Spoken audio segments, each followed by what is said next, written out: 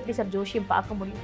நான் ஜோசியமே பார்க்க மாட்டேன் ஜாதகத்தை நம்ப மாட்டேன் சாஸ்திரத்தை நம்ப மாட்டேன் அப்படின்னு இருந்தால் கூட ஏதாவது ஒரு காலத்தில் இந்த சாஸ்திரத்தையோ ஜாதகத்தையோ சாமியையோ நம்ப வேண்டிய ஒரு நிர்பந்தம் ஏற்படுது அப்படிங்கிறது எதார்த்தம் அப்படி நிர்பந்தமே ஏற்படாமல் இருந்தால் கூட அந்த கிளி வந்து அவர் கூப்பிட்றதுக்காக வருதோ இல்லையோ வெளியில் இருக்கிற நெல்மணிக்காகவோ அந்த வாழைப்பழத்துக்காகவோ தாராளமாக வெளியில் வரும். வெளியில் வந்ததுக்கப்புறம் அவர் பழக்கி வச்சது மாதிரி அவர் அவர் ஏற்கனவே சொல்லி கொடுத்த மாதிரி அந்த சீட்டுகளை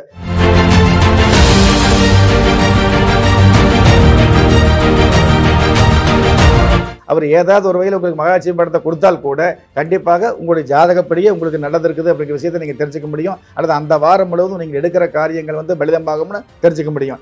ஆக கிளி சோசியம் அப்படிங்கிறது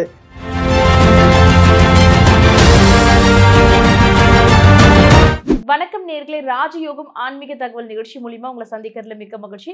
நம்மளுடைய ராஜயோகம் ஆன்மீக தகவல் நிகழ்ச்சியை பார்த்து நிறைய ஆன்மீகம் சார்ந்த கேள்விகளுக்கான சந்தேகங்களுக்கான விளக்கங்கள் உங்களுக்கு கிடைச்சிருக்கும்னு நினைக்கிறேன். அந்த வகையில் இன்னைக்கும் உங்களுக்கான விளக்கங்கள் தரத்துக்காக ராஜயோகம் டாக்டர் கே. ராம் சார் அவர்கள் நம்ம கூட இணைஞ்சிருக்காரு. அவர் வெல்கம் பண்ணலாம். வணக்கம் சார்.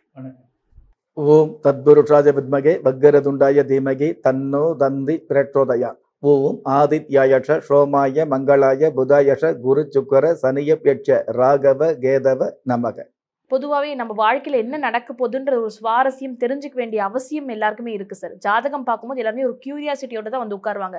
அதே போல் இப்போ கிளி ஜோஷியம் பார்க்கும்போது எல்லாருமே சாதாரணமான விஷயம் தான். கிளி எப்படி ஜோஷியம் பார்த்து சொல்ல முடியும்? கிளியால் துல்லியமாக கணிச்சு சொல்ல முடியுமா? ஒரு மணி நேரம் நம்ம ஜாதகத்தை புரட்டி புரட்டி பார்த்து சொல்கிறதே நமக்கு சரியாக வர மாட்டேங்குது கிளி எப்படி கரெக்டாக கணிச்சு சொல்லும்? இந்த சந்தேகம் எல்லாருக்குமே இருக்குது கிளியால் எப்படி சார் ஜோஷியம் பார்க்க முடியும்? பொதுவாகவே ஜோதிடம் அப்படிங்கிறது வந்து பார்த்தீங்கன்னா நிறைய வ- நிறைய வழிமுறைகள் வந்துட்டு இருக்குது. ஜோதிடம் அப்படின்னாலே மனோதிடம் அப்படிங்கிறது. வடமொழியில் வந்து ஜோ அப்படிங்கிறதுக்கு மனம் அப்படிங்கிறது. திடம் அப்படிங்கிறது உங்களுடைய மனசை திடப்படுத்துறதுக்காகத்தான் இந்த ஜோதிடத்துக்கு ஜோதிடம் அப்படிங்கிற பெயர் வச்சுருக்காங்க. ஜாதகம் அப்படிங்கிற பெயர் கூட எதனால் வந்தது அப்படின்னு கேட்டிங்கன்னா அதாவது உங்களுடைய ஜாதகம் உங்களுக்கு சாதகமாக இருக்கணும் அப்படிங்கிறதுக்காகத்தான் அதுக்கு ஜாதகம்னு பேர் வச்சாங்க. ஒரு ஜாதகம் அப்படிங்கிற பெயரை வந்து திரும்ப திரும்ப சொல்லும் பொழுது உங்களுக்கு சாதகமான பலன். ஒரு நல்ல வார்த்தையை திரும்ப திரும்ப பேசணும் அப்படின்னா உங்களுடைய வாழ்க்கையில் நல்லது நடக்கும் அப்படிங்கிறது யதார்த்தம். அதனால தான் ஆங்கிலத்தில் பழமொழி சொல்லுவாங்க நீ என்ன நினைக்கிறாயோ அதுவாகவே பின்னாடி வருவ அப்படின்னு சொல்லுவாங்க. அந்த மாதிரி வந்து இது ஆங்கிலத்தில் சொல்கிறது நீங்கள் எந்த மாதிரி நினைக்கிறீங்களோ அந்த மாதிரி பின்னாடி வருவீங்க. சின்ன வயசுல நீ ஜனாதிபதி ஆகும்னு நினச்சா பெரிய வயசில் ஜனாதிபதி ஆவாங்கன்னு ஆங்கில பழமொழி சொல்லுவோம் ஆனால் நம்ம நாட்டில் அப்படி கிடையாதுங்க.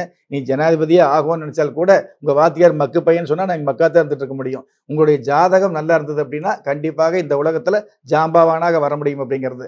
அஞ்சு வயசுலேயே உங்களோட ஜாதகத்தை பார்க்கும்போது ஐம்பத்தஞ்சு வயசில் நீ எந்த மாதிரி வருவ அப்படிங்கிறது உறுதியாக சொல்லக்கூடிய சாஸ்திரம் நம்ம நாட்டில் இருக்குது அப்படிங்கிற விஷயத்தை இந்த நேரத்தில் வந்து உங்களுக்கு வந்து மிக மிக பணிவோடு அதே சமயத்தில் உறுதியோடு சொல்ல கடமைப்பட்டிருக்கிறேன். அந்த வகையில் இந்த ஜோதிடம் இந்த சாதகம் அப்புறம் கைரேகை அப்புறம் எண்கணிதம் அப்புறம் பிறப்பையன் சம்மந்தப்பட்டது விதியன் சம்மந்தப்பட்டது நாடு ஜோதிடம் சம்மந்தப்பட்டது இந்த மாதிரி பல்வேறு விதமான அமைப்புகள் இருந்துகிட்டு இருந்தால் கூட இந்த கிளி ஜோதிடம் அப்படிங்கிறது வந்து பார்த்தீங்கன்னா விருப்பப்பட்டு பார்க்குறோம் அப்படிங்கிறத விட விருப்பப்பட்டாலும் விருப்பப்படாவிட்டாலும் கடற்கரைக்கு போகும் பொழுது பொழுது போகாமல் பார்க்கக்கூடிய ஒரு அமைப்பு. என்னதான் சொல்லுதுன்னு பார்க்கலாமே அப்படிங்கிற ஒரு எதிர்பார்ப்பு இல்லாமலேயே ஒரு சிறு எதிர்பார்ப்பு. எதிர்பார்ப்போடு பார்க்கறது அப்படிங்கிறத விட எந்த ஒரு எதிர்பார்ப்பும் இல்லாமல் என்ன சொல்லுதுன்னு பார்க்கலாம் அப்படிங்கிற விளையாட்டுத்தனமாகவும் அதே சமயத்தில் உங்களுக்கு வந்து கிளி சோசியத்தில் வந்து நல்ல நல்லதோ அல்லது தவறோ வந்தது அப்படின்னா அதற்கு தேவையில்லாத மனக்குழப்பங்களும் இருக்குது அப்படிங்கிறது எதார்த்தம் அந்த வகையில் கிளி ஜோதிடம் அப்படிங்கிறது பார்க்கலாமான்னு கேட்டிங்கன்னா தாராளமாக பார்க்கலாம்.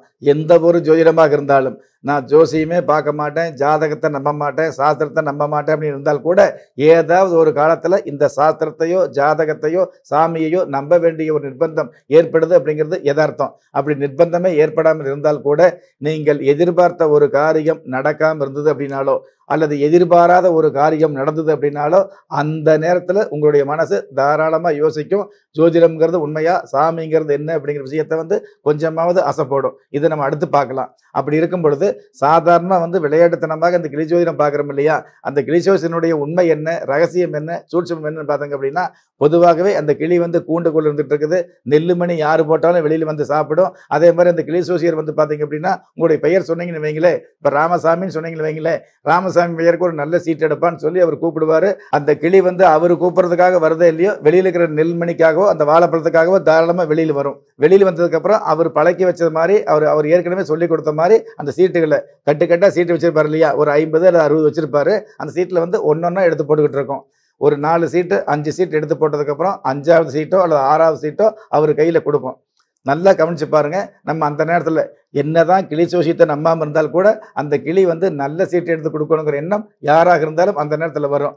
அப்படி அந்த நாலு சீட்டு அஞ்சு சீட்டு எடுக்காத அந்த கிளி அஞ்சாவது சீட்டோ அல்லது ஆறாவது சீட்டு கொடுக்கும்போது வந்து பார்த்தீங்கன்னா அந்த கிளி ஜோசியருடைய கை இந்த விரல் வந்து பார்த்தீங்கன்னா இந்த சீட்டெடு நல்ல சீட்டெடு நல்லதா சொல்லு அப்படின்னு சொல்லி கையாடிக்கிட்டே இருந்துட்டு பாருங்க. அந்த கிளி ஜோதிடர் வந்து அந்த கை ஆட்டுறதை நிறுத்திட்டு அந்த விரலை மட்டும் ஆட்டுவார் பாருங்க. அந்த விரலை ஒன்று ஒரு சில பேர் விரலை முதல்ல இருந்தே ஆடிக்கிட்டு இருப்பாங்க. இன்னும் சில பேர் வந்து அந்த விரலை ஆட்டாமல் இருந்து அந்த கிளி அந்த சீட் எடுக்கும்போது மட்டும் விரல் ஆட்டுவாங்க. அப்போ அந்த நேரத்தில் மட்டும்தான் அந்த கிளி அந்த சீட்டை வந்து வச்சிரும். இன்னும் சில பேர் வந்து பார்த்தீங்க அப்படின்னா இந்த சீட் ஆகாது. இந்த ராமசாமிக்கு வேறு சீட் நல்ல சீட் எடு. கல்யாணம் ஆகணும் குழந்தை பிறக்கணும் செல்வத்தோட வரணும் கார் வாங்கணும் வாகனம் வாங்கணும்னு சொல்லுவார். சொல்லி அடுத்து வந்து கையாட்ட நிறுத்தும் போது அந்த கிளி அந்த சீட் எடுத்து வைக்கும். இதில் வந்து ஒரு உண்மை என்னென்னு கேட்டிங்கன்னா அவர் கிளி வந்து அந்த கிளியை வந்து பழக்கி வச்சிருக்காரு நெல்மணி போடுறாரு வாழைப்பழத்தை கொடுக்குறாரு கையாட்டுறாரு விரலாட்டுறாரு அப்படிங்கிற விஷயத்துக்கு அப்புறம் பொதுவாகவே அவர் வந்து எந்த இடத்துல விரலாட்டி ஒரு சீட் எடுக்க சொல்கிறாரோ அந்த சீட் எடுத்து பார்க்கும் பொழுது அதில் வந்து பார்த்திங்கன்னா முருகப்பெருமான் படம் வரும் அல்லது வந்து செல்வ லட்சுமி படம் வரும் அல்லது வந்து பெருமாள் படம் வந்துட்டு இருக்கும் இந்த மாதிரி சாமி படம் வந்துட்டு இருக்கும். நல்லா கவனிச்சு பாருங்க. அவர் இந்த படத்தை கொடுக்கணுங்கிற மனசுல அவர் எந்த மாதிரி நினைச்சு கையாட்டினா கூட உங்களுக்கு வந்து நல்ல படம் வந்தது அப்படின்னா உங்களுக்கு நல்ல நேரம் அப்படிங்கிறது நீங்க தாராளமாகவே தெரிஞ்சுக்க முடியும். அதுவே வந்து சில பேருக்கு வந்து பார்த்தீங்கன்னா சுடுகாட்டு காளி வரும் பத்திரகாளி வரும் இந்த மாதிரி இருந்துட்டு இருக்கும். அந்த மாதிரி இருந்தது அப்படின்னா உங்களுடைய வாழ்க்கையில் கஷ்டம் இருக்குது அடுத்து வந்து தேவையில்லாத பிரச்சனைகள் இருக்குது அப்படிங்கிறத நிச்சயமாகவே தெரிஞ்சுக்க முடியும். அதாவது அவர் கையை ஆட்டினாலும் ஆட்டாவிட்டாலும் எந்த சீட்டு உங்களுக்குன்னு விதிக்கப்பட்டு வருதோ அதன் மூலமாகவே உங்களுடைய வாழ்க்கையில் அந்த வாரம் முழுவதும் என்ன ஏழு நாட்களுக்கு உங்களுக்கு சரியில்லாமல் இருக்கும் அல்லது சரியா இருக்குங்கிற விஷயத்தை அதில் வருகிற சாமி படத்தை பொறுத்து நம்ம தெரிஞ்சுக்க முடியும். அவர் என்னதான் திட்டம் போட்டு மகாலட்சுமி படத்தை கொடுன்னு சொன்னால் கூட அவர் ஏதாவது ஒரு வகையில் உங்களுக்கு மகாலட்சுமி படத்தை கொடுத்தால் கூட கண்டிப்பாக உங்களுடைய ஜாதகப்படியே உங்களுக்கு நல்லது இருக்குது அப்படிங்கிற விஷயத்தை நீங்கள் தெரிஞ்சுக்க முடியும். அல்லது அந்த வாரம் முழுவதும் நீங்கள் எடுக்கிற காரியங்கள் வந்து பலிதமாகும்னு தெரிஞ்சுக்க முடியும். ஆக கிளி சோசியம் அப்படிங்கிறது எண்ணி ஏழு நாள் எட்டு நாளைக்கு பலிதமாகக்கூடிய அல்லது ஒரு சில ஒரு சில விஷயங்களை வந்து உங்களுக்கு வந்து முன் முன்னாடியே தெரியப்படுத்தக்கூடிய அமைப்பாக இருந்துட்டு இருக்குது அப்படிங்கிற விஷயத்தை நம்ம தெரிஞ்சுக்க முடியும். எதற்காக சொல்கிறோம் அப்படின்னு கேட்டிங்கன்னா ஒவ்வொரு ஜோதிடம் இந்த ஜோதிடம் அப்படிங்கிறதே வந்து உங்களுடைய மனசை வந்து திடப்படுத்துறதுக்காகத்தான்.